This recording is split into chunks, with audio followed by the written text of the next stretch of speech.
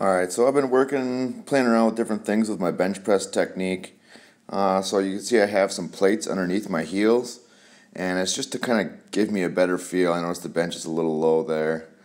Uh, so I was doing sets of six this day, not really going anywhere near failure, just experimenting with some different styles of training.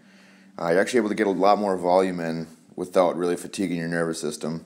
So really shitty angle here, but I just kind of wanted to show the exercises I did flat bench, incline bench, standing overhead press is a great uh, beginning to a chest shoulder tri workout. So this is pretty much my workout for the day. Did four sets of six for the first few exercises. This one's I did four sets of 20. So this machine I face backwards and just really try to go for high reps and really feel the muscle working. I you know can really concentrate on my triceps on this version. Uh, last off, I finished off with a tri set of side raises, front raises, and rear raises. I've never done them in this order before, so I'm experimenting with different orders. Normally I go rear, side, front.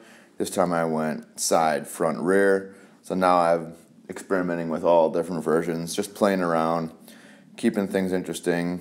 Uh, that's pretty much it. Just wanted to see you guys, show you guys uh, kind of a typical routine that I might do and some things I'm uh, playing around with. Thanks for watching and make sure you like and subscribe.